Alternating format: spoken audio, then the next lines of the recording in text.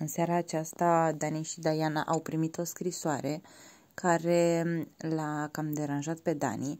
De fapt, un anumit lucru care scria acolo și anume să nu îl mai sufoce Diana pe Dani cu pupatul.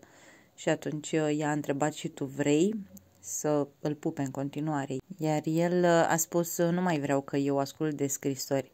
Și a început să zâmbească de fapt, uh, el chiar a fost deranjat de asta și chiar spunea um, tu crezi că ăsta e singurul hate uh, de afară, oamenii ne urăsc și Diana a spus, tu chiar crezi asta? Și apoi uh, Dani a răspuns că nu, Doamne ferește.